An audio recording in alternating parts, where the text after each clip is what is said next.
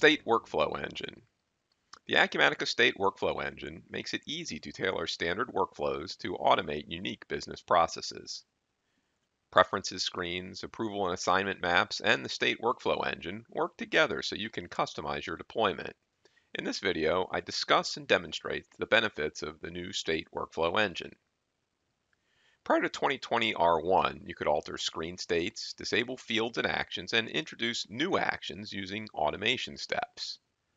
The automation engine used steps with conditions to define a screen state and control behavior. The problem was these steps were not always obvious and could not be controlled by code. The only way to make changes was to modify the screen you see here. This meant that automated workflow upgrades were not supported. To overcome these issues, Acumatica introduced the State Workflow Engine. The new workflow mechanism is a simple finite state machine. Using this engine, you can create multiple workflows for each Acumatica screen. Within a workflow, you define states as well as the actions and transitions that are available from and to that particular state. Approval workflows operate as subroutines of the main workflow. Approval maps give people in your organization the ability to configure approval processes without publishing a customization project. Workflow capabilities are automatically exposed on mobile phones. You can turn actions on or off using mobile menus. Workflows can be configured by power users or developed by coders. Whether built in the UI or Visual Studio, the resulting code is the same. Custom workflows are managed on top of core flows, so changes persist when you process an upgrade. The sales order screen has different workflows for each order type. In this example, we will customize the order type of IN to include a research step so consultants can create intellectual property before the order is ready to ship.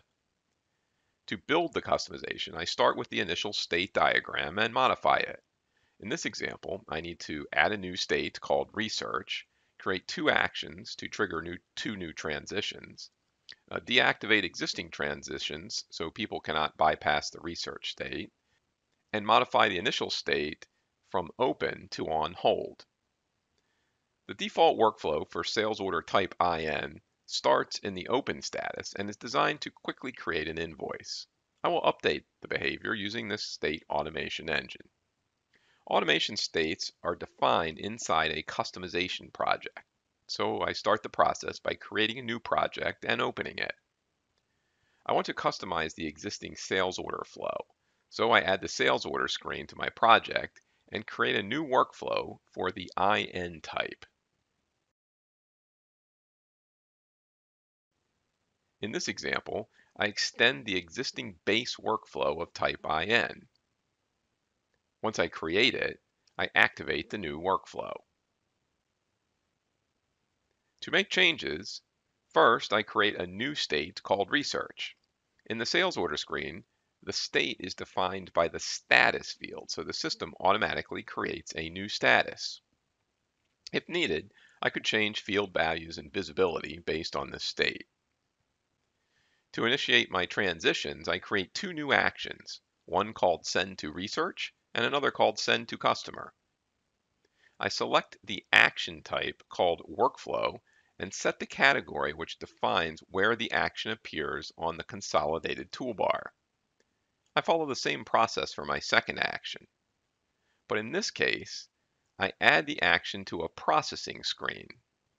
This allows me to process the screens in batch or schedule the process so that all documents in the specified state can be processed at once. To begin defining my transitions, I navigate to my custom workflow and switch to the diagram view. I create transitions from the hold state to the research state and from research to open.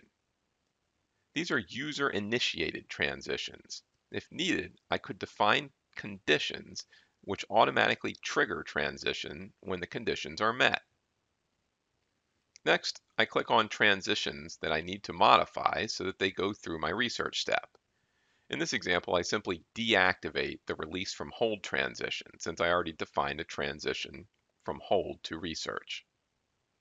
Recall that the initial state of the IN flow was open. I want to change that to on hold. To accomplish this, I deactivate the initialized state that goes directly to open and remove the condition to trigger the on hold state. This completes the basic configuration steps, but before publishing my project, I want to configure my action buttons to guide users. When the document's on hold, I set the research action to appear in the toolbar and select the success connotation so my button appears in a green color. I can configure buttons on any state, including the new research state that I just created. With everything complete, I publish my project. I'll speed up the video until this completes.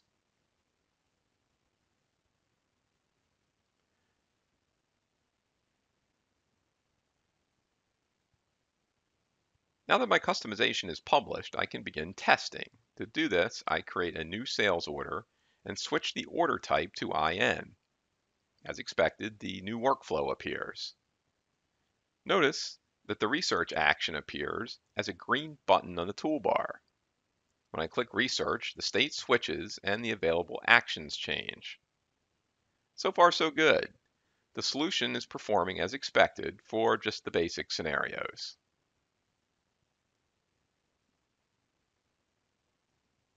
Acumatica started migrating to the state workflow engine in 2021 R1.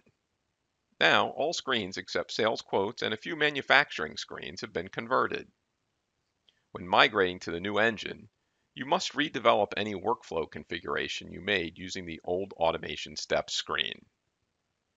We will continue adding new features, including the ability to modify financial screen workflows, simplify workflows using composite states, trigger business events from workflows, provide audit support for workflow transitions, and improve overall performance. The new state automation engine allows both power users and coders to rapidly create and modify workflows to replicate existing business processes, and is another example of how Acumatica's platform enables rapid and efficient transformation to a digital world. For more information about Acumatica, visit our website or contact an Acumatica partner. Thank you